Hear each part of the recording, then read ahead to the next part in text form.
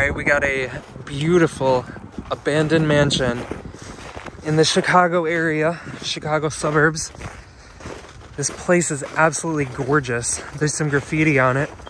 Seems like it's very well boarded up though. Open window up there, way up there.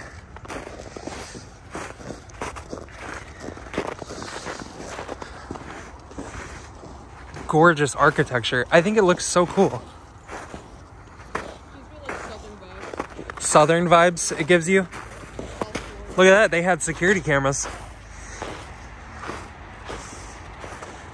That don't look new at all. I mean, it could be, but...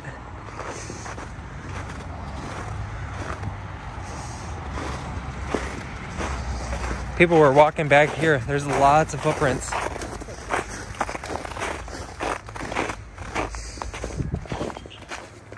Oh, smoke alarm.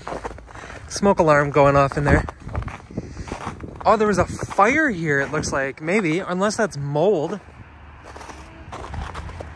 There's another window open up there.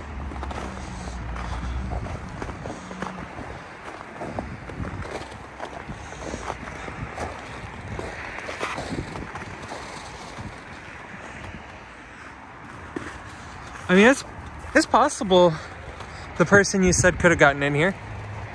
I said it's possible the person you said could have gotten in here. A lot of these boards look very fresh. Either they climbed or they broken.